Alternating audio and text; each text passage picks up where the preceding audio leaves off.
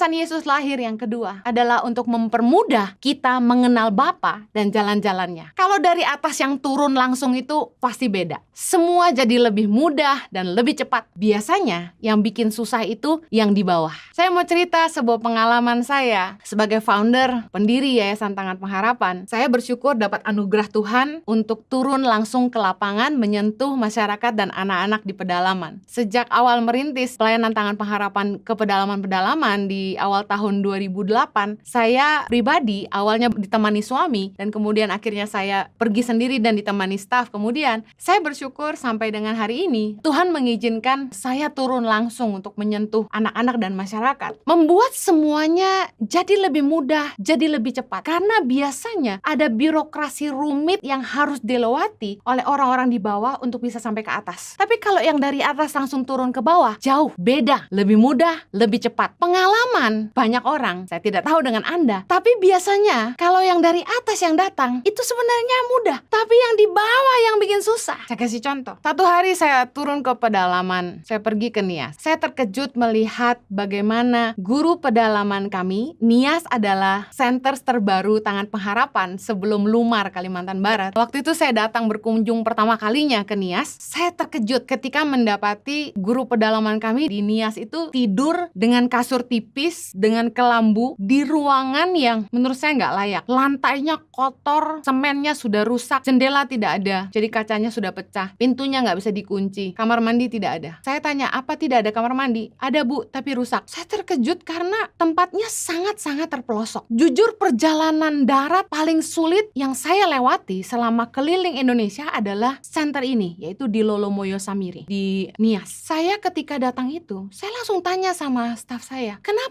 nggak minta dibelikan kasur yang lebih tebal? Kenapa kamar mandi tidak diperbaiki? Kenapa jendela nggak diperbaiki? Kenapa lantai nggak diperbaiki? Dan kenapa tidak ada dapur dan sebagainya? Karena ketika saya membuat program guru pedalaman, sebagai founder, saya menetapkan SOP, Standard Operational Procedure, di mana sebelum guru-guru pedalaman itu diutus ke sebuah desa untuk mengajar di situ, leadernya harus mempersiapkan segala sesuatu mulai dari pendekatan ke masyarakat, penandatanganan kerjasama dengan orang yang menjadi tokoh di situ, kemudian harus mempersiapkan tempat tinggal, mulai dari kasur, perlengkapan dapur, dan memastikan ada kamar mandi, ada air, ada SOP yang jelas yang sudah saya buat. Tapi saya terkejut ketika saya diberitahu bahwa pimpinan divisi ini tidak menolong guru-guru sebelum diutus. Sehingga mereka yang harus cari kasur sendiri dan sebagainya. Saya waktu itu cukup kesal, tapi saya langsung ajak guru-guru pedalaman ini untuk pergi ke kota, ikut saya turun ke pasar, dan supaya mereka segera segera belanja, saya langsung kasih uang supaya mereka langsung beli semua kebutuhan mereka, mulai dari kasur dan saya langsung perintahkan supaya mereka cari tukang untuk perbaiki kamar mandi, perbaiki toilet, perbaiki lantai, jendela dan semuanya dan memastikan mereka ada air dan memastikan mereka nyaman di situ. Begitu saya pulang ke Jakarta, saya tegur tim saya dan bersyukur hari ini leader yang kurang perhatian sama bawahannya itu sudah tidak bersama-sama dengan kami lagi. Tapi yang saya pelajari bahwa begini, biasanya kalau dari atas yang turun itu segala sesuatu jadi lebih mudah. Biasanya yang mempersulit itu di bawah. Waktu kami pernah meresmikan sekolah pelatihan pertanian kami di Kupang yang meresmikan gubernur, tetapi perizinannya dengan birokrasi level bawah itu sulitnya luar biasa. Bertahun-tahun tidak selesai-selesai dan baru ini saja izinnya keluar setelah bertahun-tahun. Kurang lebih hampir lima tahun baru keluar. Kedatangan Kristus memangkas jalur birokrasi rumit untuk manusia ber berhubungan dengan Bapa. Agama punya berbagai aturan yang begitu sulit yang membuat umat Tuhan yang berusaha mengenal Tuhan harus melewati prosedur-prosedur yang begitu panjang, yang begitu rumit, yang ada mereka malah dihakimi dan dipersulit. Bayangkan, bagi bangsa Yahudi, hukum Taurat menjadi sangat penting dan ada 613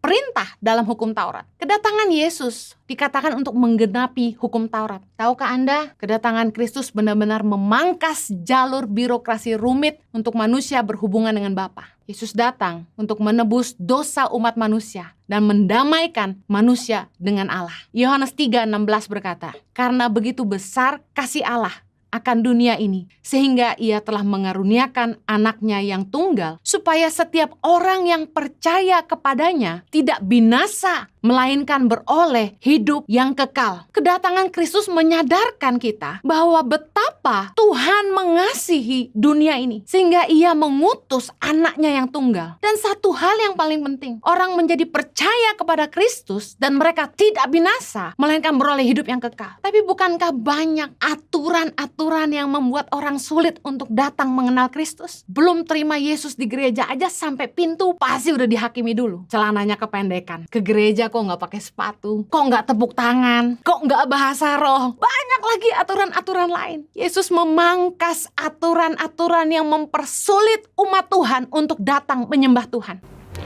Tiga hal ini sebenarnya yang paling membuat saya tuh sedih.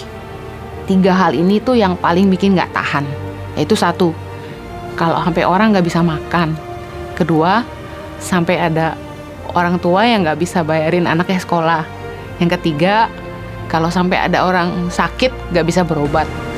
Meninggalkan kenyamanan hidup, mengikuti panggilan hati, mengandalkan Sang Pencipta, berjuang membangun negeri.